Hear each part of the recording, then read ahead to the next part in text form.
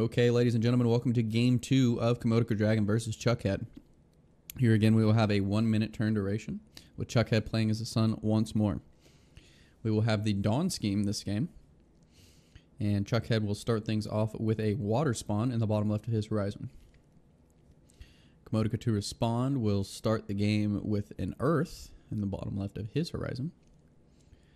Chuckhead opts for a Fire Piece spawning that adjacent to his initial water. Water piece from Komodoka adjacent to his Earth. Fire will be the final deployment from the sun in the bottom left of the horizon, and a water in the bottom right for Komodoka. Quick water spawn from Chuckhead, advancement of his Adept 2, and a deployment of the shield behind the sun, ending his turn. Komodoka to respond Chuckhead has a lot of options here with his water pieces. Water piece of Komodoka collides with a wall and places it to the left, followed by a spawning of a fire piece in the now empty space where the water was. Chuckhead will collide his water piece with the shield and relocate his water piece up one space. Second action will be to move the fire piece up four, and the third action collides with the wall and places it to the left. He now has some good options, threatening the adept of Komodoka. Komodoka will respond by protecting his adept, advancing his earth piece up three, pushing the adept one space, so the walls are no longer accessible from the water pieces of Chuckhead. Second action will be to move his fire piece up four, and his final action will be.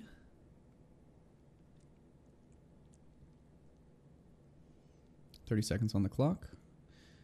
Uh, advancement of his adept up one, deployment of a shield, and then a retreat from the adept. First and second action from Chuckhead will be to relocate his adept. Oh, and then he's going to move two and capture the fire piece of Komodoka, drawing first blood. Excellent play there. Well done from Chuckhead to take the first piece. We now have a one piece advantage for Chuckhead. Komodoka to respond.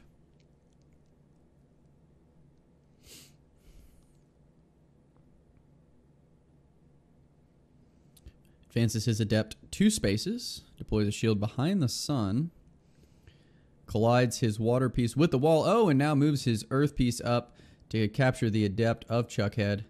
Um, Chuckhead will be forced to respawn, chooses to respawn in the adept location, and then a fire piece will capture the adept of Komodoka. Komodoka forced to respawn, responds, respawns as well in the adept spot. Questionable choice as he is now being threatened by two water pieces of Chuckhead.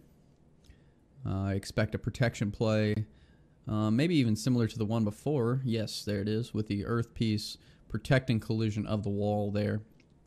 Chuckhead to respond will collide with the earth piece. Oh, placing it back in line of sight of his fire piece. Shots fired. That will be taken. I imagine the water piece there will be traded from, uh, will be taken by the adept of Komodoka. Advancement of his water piece collides with the wall. He will not relocate the wall. Adept moves up one, captures the water piece by deploying a shield, and then retreats. I don't like the placement of that Adept, uh, as Chuckhead can simply move his sun out of the way and then capture that. Up, oh, opts to move his fire piece first. Oh, and then spawn an earth piece. He will opt not to capture the enemy Adept um, for whatever reason. Okay. Komodoka got away with one there. Perhaps Charlie just wanted to make a huge advantage, have four pieces to two. Komodoka spawns a fire piece in the bottom right of his horizon. And his last and final action will be... Hmm. Uh, nothing. He's going to opt to just pass the turn. All right. So Chuckhead moves his adept up two, deploys a shield, ah, opening the flank for the collision of the water piece, um, killing the adept, forcing a respawn next turn, and his final action will be to advance his earth piece up a bit. Komodoka will spawn the moon in the bottom left of his horizon. we still have a one piece advantage. Retreat from the water piece of Chuckhead. A lot of options here. Chuckhead has a really good board state. Advancement of the sun up two spaces. Deployment of the shield.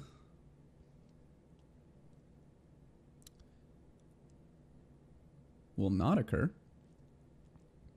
He then pushes his fire piece up two spaces. Uh, he needs to protect that water piece. Water piece has can be captured by both the adept and the water piece of Commodica. Um, doesn't look like he wants to do that though. Perhaps he's just going to trade uh, one for one. Maybe he has something in mind. Fire piece will move up three. Four? Yeah, I don't think he wants to do that. No, no, no. Undoes that move. Moves it three. Ends his turn. Okay. So Modica could lose his adept and his water piece here. We'll see. I'm sorry. Chuckhead could lose his adept. Oh, one piece taken. There it is. The adept advances two captures the water piece. Oh, the, that opens the flank for the water piece to capture. Oh, and the other water piece captures. Three captures in one turn there from Commodica. Well played to even the board back out. Two pieces to two. That was a uh, that was a really good play. Deploying the shield opened the flank for the water piece to then capture the adept of Chuckhead, and then that allowed for the water piece to capture the other piece. Final movement from Commodica will be to move his fire piece on the wall. Chuckhead will then move his earth piece down, pushing his fire into position to take the water of Commodica. We now have a one piece lead for Chuckhead. Commodica opts to advance his moon two spaces and deploy a shield capturing the fire piece of Chuckhead. Second action will be to relocate his fire piece onto the adjacent wall, uh, covering more ground there. Chuckhead has the option to capture the enemy adept. First spawns a fire piece in the bottom right of his horizon. That'll be his final fire piece. Um, and it looks like he's looking to not capture and instead pushes his adept two spaces and then moves his earth piece to safety. We have one water and two possible earth pieces to spawn for Chuckhead, and one of each for Commodica. Very close game. Earth piece spawned in the bottom right of Commodica's horizon. Third and final action will be advancement of his adept two spaces. And uh, I believe he'll lose his adept here. Yep. Movement of the sun two spaces and then pushes the moon into the wall. Uh, Chuckhead will lose his adept for that, but he will force a respawn. Uh, so kind of trading even there and advancing his fire piece up a few spaces. Adept spawns for the moon in the adept location and then the capture of the adept there with the final action. Charlie will opt to spawn his adept in the adept spot as well.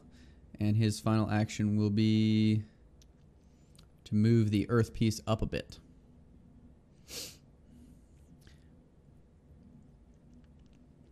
All right. Water piece spawned in the bottom left of Commodica's horizon. That will be his final water piece spawn. His third and final action with 35 seconds on the clock.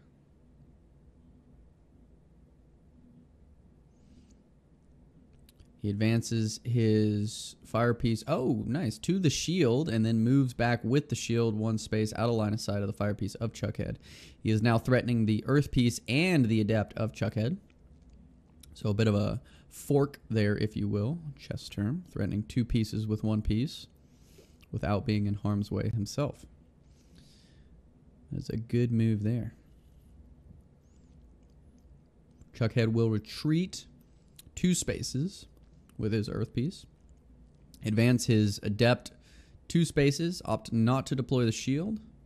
And with his final action,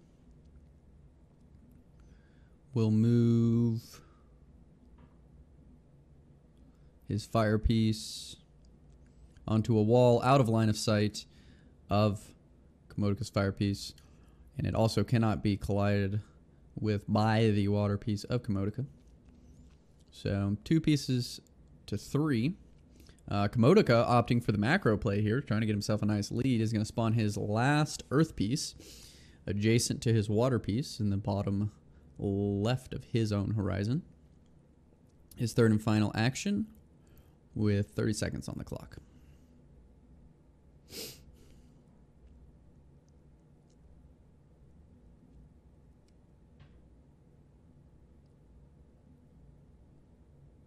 He will move up one with his fire piece upon the wall.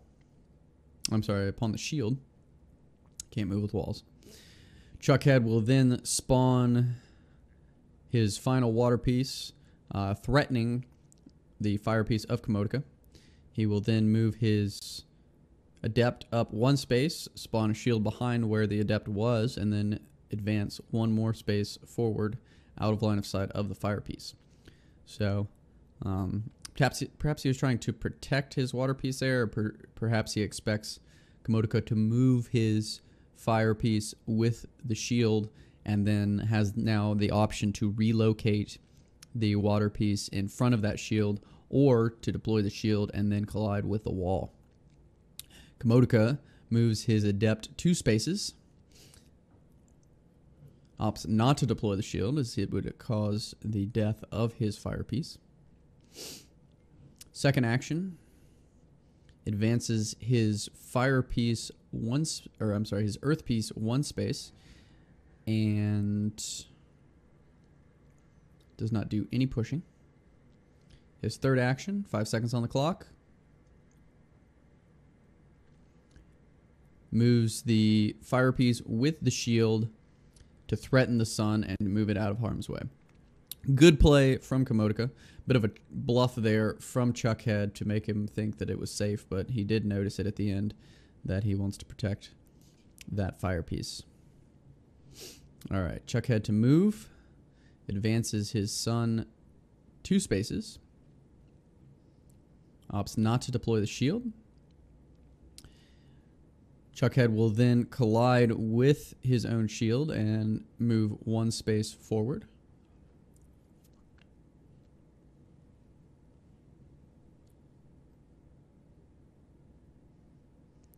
Third and final action from Chuckhead. 13 seconds on the clock.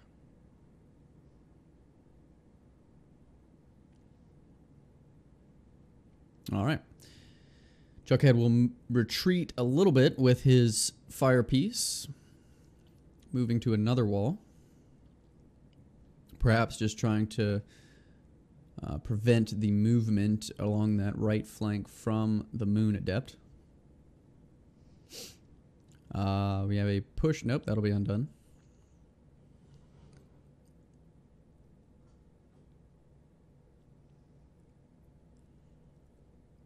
Thirty seconds to play. Three actions remaining. We have a movement with the shield from Commodica. Two spaces by the fire piece. A push three from the earth piece of Commodica, and the final action will be to collide the water piece with the bear. Nope, I will be undone. Final action will be. Yes, to collide with the wall and relocate it behind. Um, Chuckhead can capture several pieces here. We'll see what he opts to do. He can push the water piece and then move the shield of Commodica capture that fire piece. He can move his adept two spaces and destroy the earth of Commodica by deploying a shield. He opts not to do that. Moves the.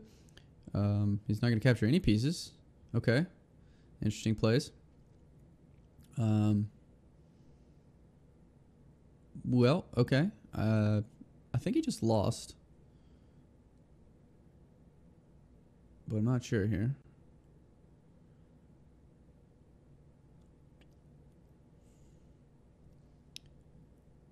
Yeah. Bloop. All right, so we have a double capture from Commodica.